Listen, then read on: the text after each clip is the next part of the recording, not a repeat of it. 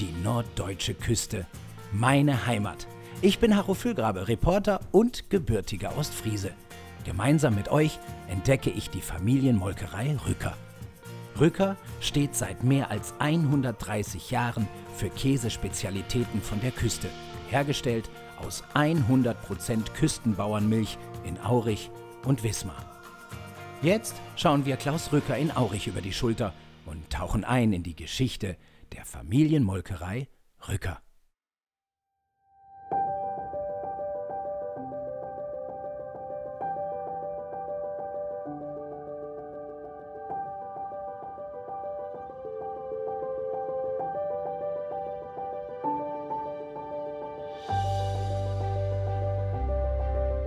Also Käseherstellung ist ja letztendlich der Versuch, Milch haltbar zu machen.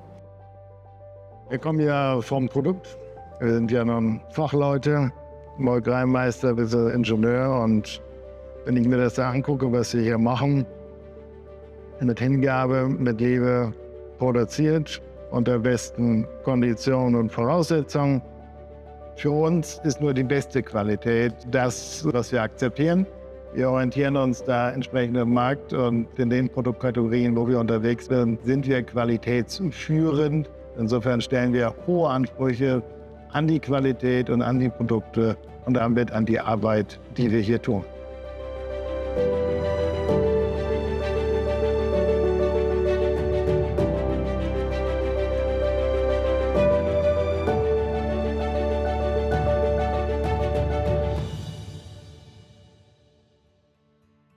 Umgeben von grünen Wiesen, die Nordsee quasi vor der Haustür, ist Aurich in Ostfriesland einer von zwei Produktionsstandorten von Rücker. Hier sind die Käsemeister darauf spezialisiert, Weichkäse herzustellen. Und wie das passiert, erklärt uns Klaus Rücker und Werksleiter Thorsten Schmitz. Ja, wir sind hier in der Käserei, dem Herzstück der Molkerei. Wir setzen hier ein besonderes Herstellungsverfahren ein, anders als es üblich ist. Die kontinuierliche Herstellung von traditionell hergestellten Käse. Und damit schaffen wir eine sehr gleichmäßige, immer wieder reproduzierbare Qualität. Ja, es läuft ja alles vollautomatisch ab. Alles beginnt vorne am Milcheinlauf. Dort wird pro Zelle am Koagulator ca. 1600 Liter Milch eingefüllt. Wir brauchen auch ein Enzym, das Lab, was ursprünglich mal aus Kälbermägen gewonnen wurde, heute aber synthetisch produziert wird. Dann gibt es eine kurze Phase der Ruhe. Kein Rühren, keine Bewegung und nichts. Dadurch legen wir die Milch dick. Das heißt, die Milch wird wie ein großer Pudding fest. Wenn der erste Gerinnung eingetreten ist, wird per Löffeltest getestet. Und diese feste Galerte, wie wir sie als Fachmann nennen, wird dann äh, geschnitten. Und kurz vorm Schneiden der Galerte wird noch ein Messertest durchgeführt. Der Schnitt muss glatt laufen, wie wir gerade auch sehen konnten. Nach dem Messertest gibt es den Schneidevorgang. Sodass an den Schnittkanten dann Molke austreten kann. Molke ist der Wasseranteil der Milch und wir trennen damit eben Fett und Eiweiß vom Wasser. Ja, sag mal, Thorsten, welche Kontrollen machen wir hier eigentlich täglich, um die Qualität zu gewährleisten? Also für so eine Hirtenkäsescheibe machen wir ca. 1800 Kontrollen. Das heißt, vom, von der Rohmilch angefangen bis zum Endprodukt äh, 1800 Proben und Untersuchungen täglich. Jawohl. So entsteht also friesischer Hirtenkäse oder wie es Klaus Rücker passend sagt, Milch wird haltbar gemacht und das in lecker. Apropos, woher kommt eigentlich der wertvolle Rohstoff für den Käse, die Küstenbauernmilch? Das möchte ich genauer wissen und mache mich auf den Weg zu Küstenbäuerin Rina Wilken in Ostfriesland. Rina! Hallo, Harro! Hallo! Das hier ist jetzt sozusagen, ist das ein Teil deiner Herde oder? Das ist ein Teil, weil ein Teil schon unerwartet reingelaufen ist. Die konnten schon kaum abwarten. Die freuen sich immer so, schon in den Stall zu kommen. Okay. Nach dem Weidegang. Bei uns ist Weidehaltung ja sehr wichtig. Und äh, genau, und die andere Herde wirst du gleich so ein bisschen anführen. Wie viele, wie viele hast du denn jetzt hier tatsächlich? Wir melken so um die 170 Kühe, aber manche sind ja auch immer mal trocken. Das Ja. heißt, die bekommen dann bald ein Kälbchen. Ne? Ähm, ja, aber im Moment melken wir so im Durchschnitt um die 170 Kühe. Sind noch ein 170? kleiner Familienbetrieb. Wow. Ja. Was heißt das denn eigentlich? Also wenn wir jetzt praktisch von Küstenbauern und Küstenbäuerinnen sprechen. Mhm. Ja, weil die Milch für den Käse kommt ja von euch. Das ist, muss eine tolle Qualität sein. Wo müssen sich die Kühe befinden? W ab wann bist du Küstenbäuerin oder Küstenbauer? Also der maximale Radius ist ungefähr 80 Kilometer. Ne? Okay. Und äh, wir haben zum Beispiel zur Molkerei auch nur eine Viertelstunde weit weg. Und der Küstenradius ist ungefähr 80 Kilometer von den Küsten entfernt, was so als Küstenbauernmilchregion ähm, ah, okay. zählt quasi. Ne?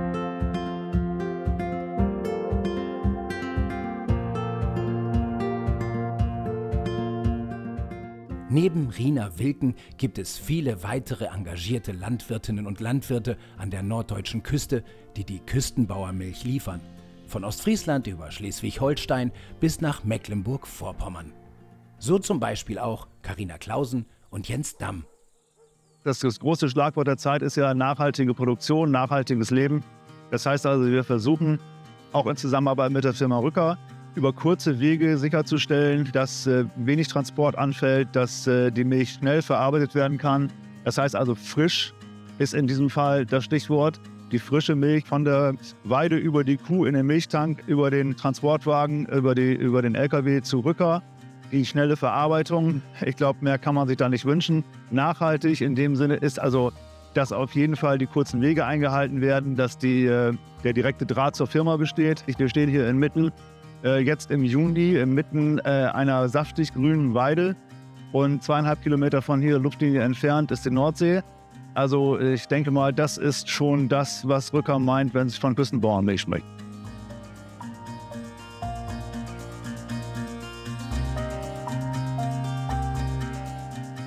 Ja, Haro, dann kannst du jetzt mal probieren. Nimm mal einen ordentlichen Schluck Milch. Oh, das lasse ich mir nicht ne? zweimal sagen. Dass du dich stärkst, es geht ja gleich noch weiter. Prost. Okay. Jetzt weiß ich, wo dieser absolut hochwertige Rohstoff für den Käse herkommt. Und ich mag ihn jetzt schon.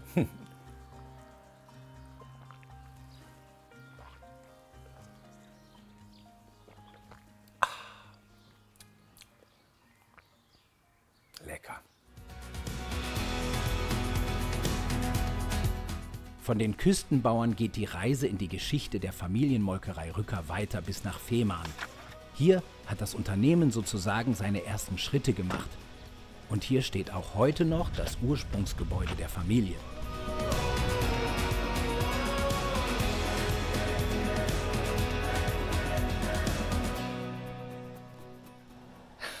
Wahnsinn! Da hat sich ja kaum was verändert. Dieses Foto ist von 1890 und das ist das heutige Gebäude. Früher war es eine Meierei und die Geschichte, die ist wirklich interessant. 1890 pachtete Eduard Rücker die Meierei in Vadersdorf auf Fehmarn. In mühsamer Handarbeit stellt die Familie Butter, Sahne und Käse her. Sie produzierte unter anderem einen hochwertigen Tilsiter. Dieser ist bis heute als Küstenurtyp erhältlich.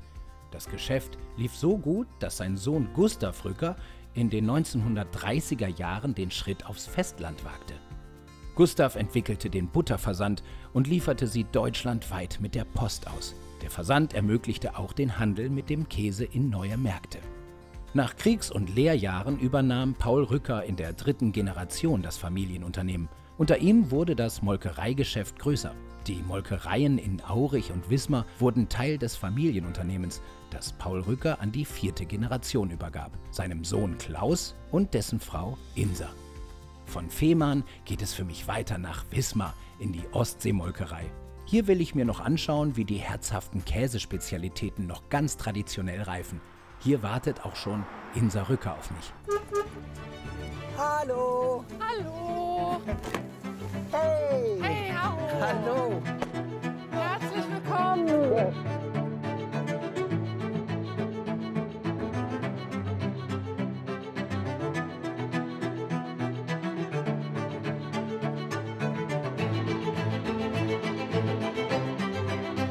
Sind das jetzt die Heiligen Hallen, wo ich rein darf? Das sind die Heiligen Hallen, ja.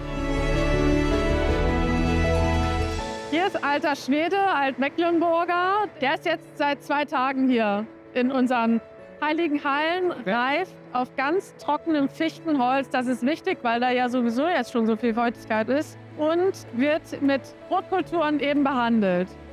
Weshalb er dann nach fünf Wochen so aussieht. Wow. Das ist fünf Wochen gereifter alter Schwede. Das ist halt wirklich richtig gereifter Käse, wie es schon unser Urgroßvater gemacht hat. Die Kälte, die Luftfeuchtigkeit, die Rotkulturen und das Holz.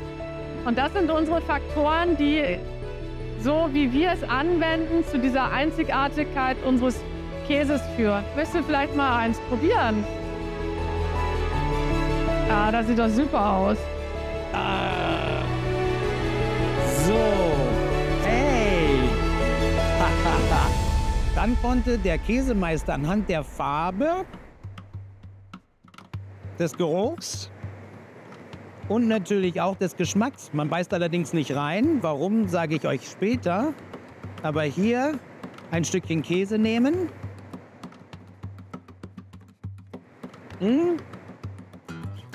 Und dann den Qualitätsstandard sozusagen festsetzen. Wenn noch was gemacht werden muss in der Lagerung, kann man was dann machen. Ansonsten hat man das hier wieder reingesteckt. So. Und dann wurde mit der roten Käseschmiere, mit den Rotkulturen, das wieder zugemacht. Und am Ende sieht man es auch nicht mehr. So lief es bis hin Anfang 1920er, 30er, bis dann die Arbeit mit den Laboren begonnen hat.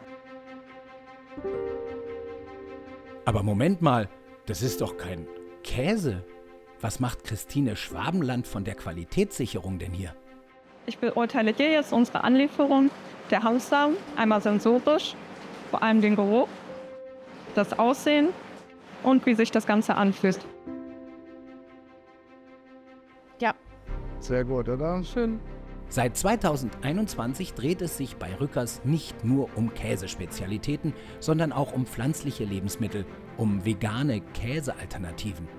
Was wichtig ist, äh, ist die typische Struktur von äh, Mozzarella, die wir hier erreicht haben, so wie wir das auch gewohnt sind. Und äh, das ist sicherlich einzigartig, dass wir das so gut auch abbilden können mit unserem Prozess, der ja mit der eigentlichen Käseherstellung überhaupt nichts zu tun hat.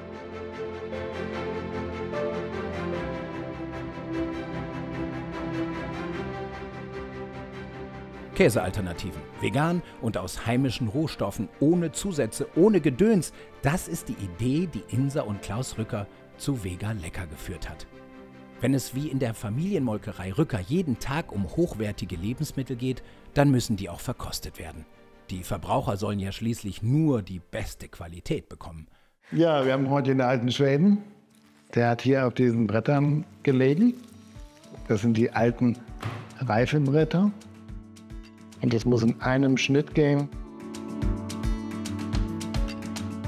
Gehen wir mal in die Verkostung.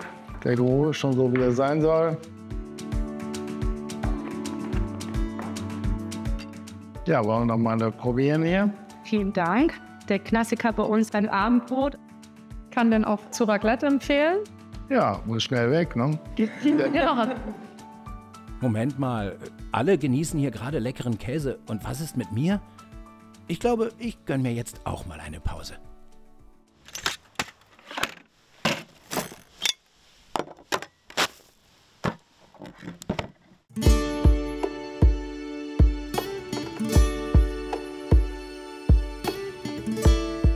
Hm. Das wurde aber mal Zeit. Ohne Frühstück, direkt zum Picknick durch. Genial. Aber es ist eine coole Auswahl. Oh, ist das lecker. Und die Pause und die ostfriesische Ruhe, die tun ihr Übriges dazu.